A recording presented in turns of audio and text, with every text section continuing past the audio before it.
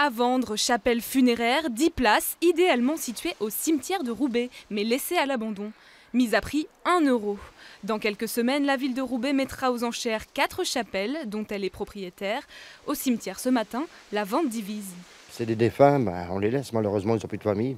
Mais je trouve ça inadmissible de vendre euh, une tombe 1 euro. Je trouve cet endroit magnifique et il faut conserver ces, effectivement ces, chapelles. Si la, chapelle n'est pas rachetée, elle s'écroulera de toute façon. Alors ça fait quand même partie d'un patrimoine qui, qui vaut peut-être le coup d'être maintenu. Les acheteurs s'engageront à restaurer les chapelles, des travaux qui peuvent coûter plusieurs dizaines de milliers d'euros. Alors certains ont du mal à s'imaginer heureux propriétaires de l'un de ces monuments. Dans l'état là, perso, je ne prendrais pas. Rénover, oui, mais dans cet état, non. Quand je vois ça, déjà, je trouve ça pas très beau. Et il y a plein de fissures partout. Il y en a, ils sont cassés, il y en a, ils tombent. La ville a acquis une cinquantaine de chapelles il y a 30 ans. Elle en a déjà restauré 12 pour un coût de 150 000 euros par an. Alors avec cette vente, elle compte sur un effet domino.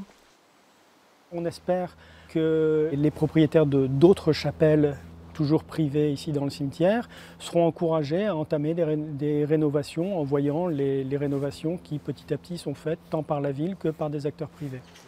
La vente aux enchères se déroulera dans quelques semaines sur Internet pour sauvegarder une partie du riche patrimoine du cimetière de Roubaix qui fêtera bientôt ses 170 ans. Des monuments à conserver à tout prix.